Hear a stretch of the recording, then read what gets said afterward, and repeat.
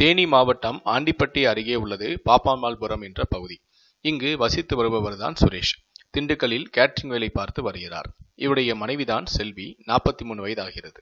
ஆண்டிப்பட்டி அரசு மருத்துவமனையில் சீனியர் நர்ஸாக வேலை பார்ப்பவர். பதினேழு வருடங்களாகவே இங்கு நர்ஸாகவும் உள்ளார். இவர்களுக்கு ஒரு மகனும் ஒரு மகளும் உள்ளனர்.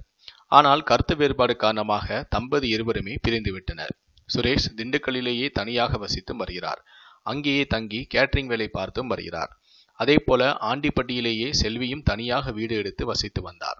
இந்நிலையில்தான் கடந்த நவம்பர் மாதம் இரண்டாம் இருபத்தி நான்காம் தேதியன்று இரத்த வெள்ளத்தில் செல்வி விழுந்து கிடந்தார்.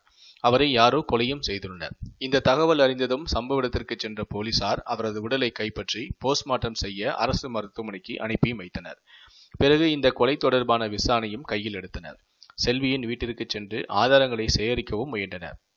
அப்போதுதான் வீட்டில் ஐநூறுக்கும் மேற்பட்ட ஆணுரைகள் இருப்பதைக் கண்டு போலீசார் அதிர்ச்சியடைந்தனர். கொலை செய்யப்படுவதற்கு முன்பு செல்வி யாருடனோ உல்லாசமாக இருந்ததற்கான தடயங்களும் அங்கு சிக்கின. இதற்கு பிறகு செல்வியின் செல்போன் ஆதாரங்களை தோண்டி எடுக்கப்பட்டது. அதில் செல்வி பல்வேறு நபர்களுடன் கள்ளத்தொடர்பில் இருந்ததும் கண்டுபிடிக்கப்பட்டது. இதில் செல்வியுடன் தொடர்பில் இருந்த நூத்தி ஐம்பதற்கும் மேற்பட்டவர்கள் லிஸ்டை எடுத்தனர் போலீசார்.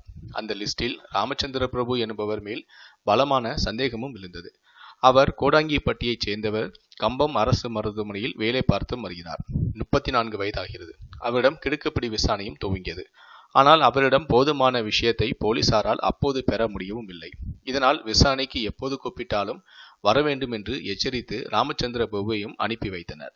ஆனால் அவரோ மறுநாளே அதாவது கடந்த பதினோராம் தேதியே ஊத்துக்காடு என்ற ஒரு வனப்பகுதியில் விஷம் குடித்து தற்கொலை செய்து கொண்டார். அப்போதுதான் ராமச்சந்திர பிரபு மீது போலீசாருக்கு சந்தேகமும் அதிகரித்தது.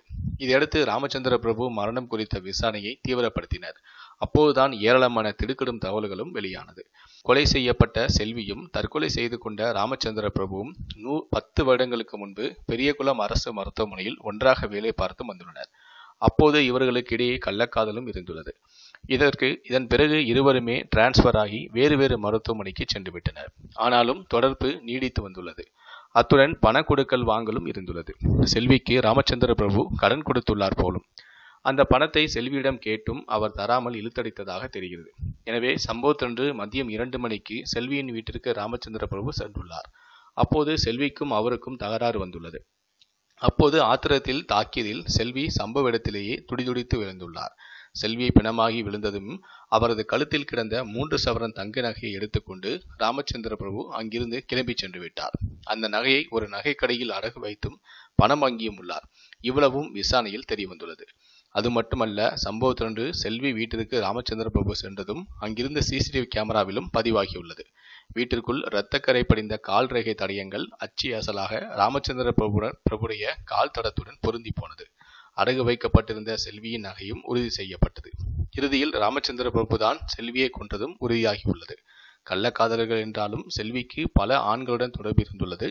அதே போல ராமச்சந்திரனுக்கும் பல பெண்களுடன் தொடர்பு இருந்துள்ளதும் போலீசாரின் விசாரணையில் தெரிய வந்துள்ளது. இந்த சம்பவத்தை பற்றிய உங்களுடைய கருத்துக்கள் என்ன அப்படிங்கிறத கீழே இருக்கக்கூடிய கமெண்ட் செக்ஷன்ல மறக்காம சொல்லுங்க.